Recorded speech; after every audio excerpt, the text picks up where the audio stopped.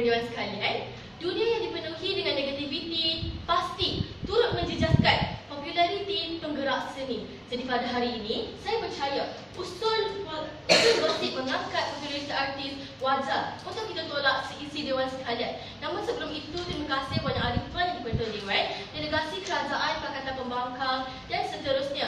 Hadirin hadirat yang dibolehkan sekalian, Assalamualaikum dan salam perdebatan saya titipkan buat anda semua.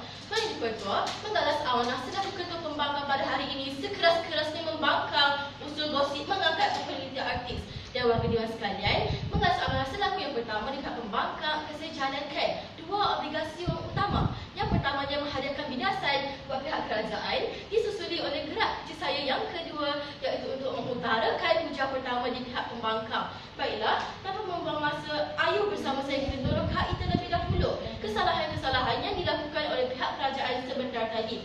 Baiklah, sebentar tadi Perdana Menteri telah menyatakan bahawa artis-artis yang gariskan dalam konsep pendefinisian ialah artis-artis di Malaysia sahaja. Namun apakah contoh yang mereka beri? Iaitu Taylor Swift yang merupakan artis di negara sebelah barat sana warga dia sekalian. Jadi dapat kita lihat amanah tidak relevan, amanah tidak relevan. Dan wajar sahaja kita tolak mereka keluar dewan warga dia sekalian. Dan pada hari ini, mesej moral yang ingin mereka bawakan ke dalam dewan perdebatan bila mereka sanggup, mereka mahukan ramai artis di Malaysia ini terkenal walaupun dengan negativiti warga dewan sekalian. Jadi maksudnya mereka sanggup membiarkan Malaysia ini penuh dengan artis-artis yang dikecam setiap masa warga dewan sekalian.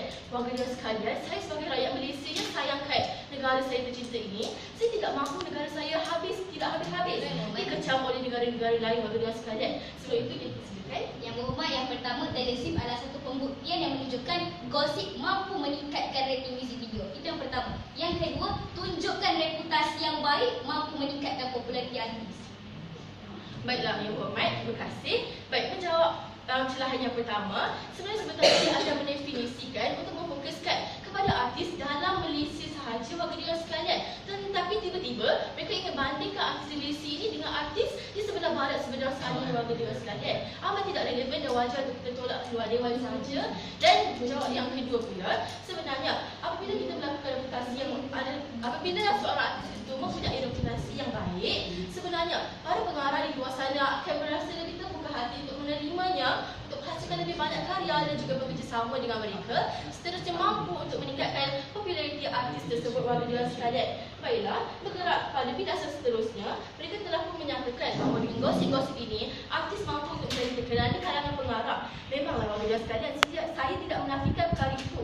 Tapi anda sedar ataupun tidak, sekiranya artis tersebut dikenali dengan perkara-perkara yang negatif di kalangan pengarah, sudah tentunya kurangnya pengarah yang akan menerima ataupun ingin bekerjasama dengan artis tersebut untuk menghasilkan sesuatu karya warga dewan sekalian. Jadi selesai arena sebelum saya berak, ia dipersilakan lagi sekali. Yang berhormat artis baru yang suci dan bersih tanpa sebarang gosip, adakah mampu untuk menampak dan melonjak naik dalam industri hiburan? Okey, um, terima kasih yang berhormat. Sebenarnya, artis yang baru menampak ini sudah tentunya tidak boleh menjadi popular begitu sahaja. Mungkin mengambil masa, mungkin dapat jika ada rezeki, mungkin boleh menjadi popular dalam masa yang singkat sahaja. Tetapi apa yang kami ingin buktikan pada hari ini, sebenarnya gosip yang dipenuhi dengan negativiti ini tidak mengangkat, sebenarnya merendahkan lagi populariti artis itu warga dia sekalian selesai ada pembidasan, ayo kita terus bergerak pada arena pengujahan di Kelab Pembangkang melihatkan kepada kesan-kesan buruk gosip sehingga ia merendahkan lagi populariti artis itu warga dewan sekalian. Baiklah, hujah pertama Kelab Pembangkang di bawah kata kunci mewujudkan perspektif perspektif negatif. Dalam hujah ini, saya buktikan kepada anda semua bahawa dengan gosip-gosip yang kebanyakan ini, yang kebanyakan ini negatif ini, langsung tidak menyumbang kepada tidak menyumbang kepada populariti artis.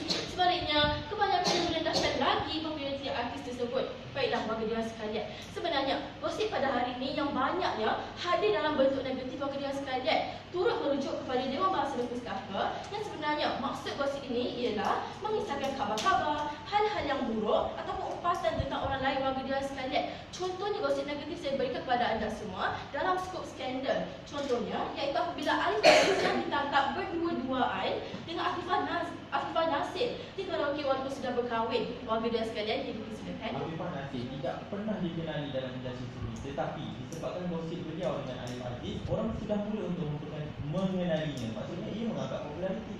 Uh, terima kasih. Um, tetapi ada sedar ataupun tidak, warga yang mengangkat um, sebenarnya yang ramai pada hari ini walaupun mengangkat populariti anda lihat ataupun tidak dia hanya mengangkat populariti pada waktu itu sahaja. Dan pada hari ini apa yang kita lihat langsung jadi karya yang diangkat-angkat yang dilakukan ataupun telah pun dihasilkan oleh beliau.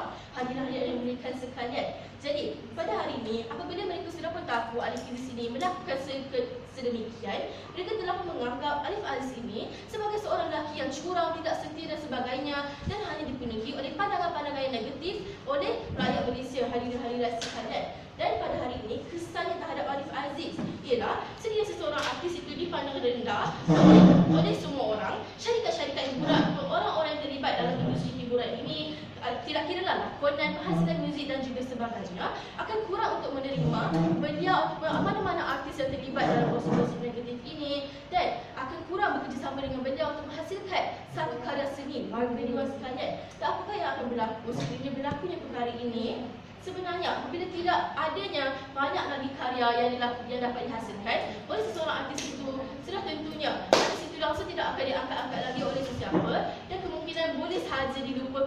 dalam zaman dan sebagainya warga dia sekalian. Dan pada hari ini, secara umum setelah saya nyatakan kepada anda semua bahawa sebenarnya dengan gosip-gosip negatif yang hadir banyak sangat oleh rakyat Malaysia pada hari ini warga dia sekalian sebenarnya langsung tidak mengangkat populariti artis sebaliknya mendatangkan kesan-kesan yang lebih buruk yang boleh merendahkan lagi dia sekalian. Jadi selesai pengutaran hujah tidak lagi yang saya pinta melainkan kredibiliti sisi Dewan untuk menolak usul pada hari ini. Jadi mohon untuk terus membangkang. Assalamualaikum